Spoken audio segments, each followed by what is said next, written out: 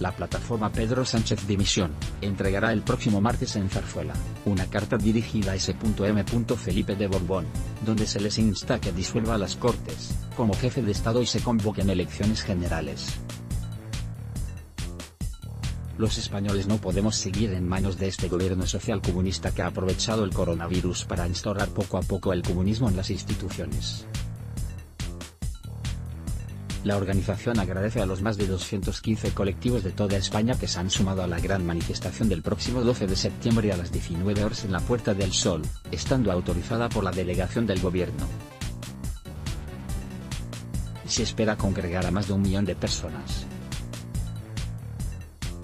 El objetivo es pedir la dimisión de todo el gobierno y que convoquen elecciones generales con transparencia. En caso de no hacerlo en el tiempo marcado a partir del 12 de septiembre, se sacará a millones de españoles en todas las ciudades de España. El 12 de septiembre los españoles van a comprobar realmente quiénes están del lado de ellos.